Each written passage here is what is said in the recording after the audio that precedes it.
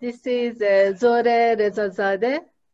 I am the president of UNESCO BMW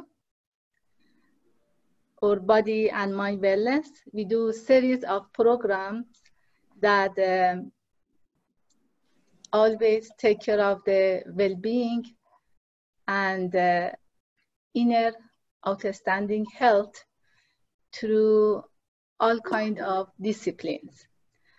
And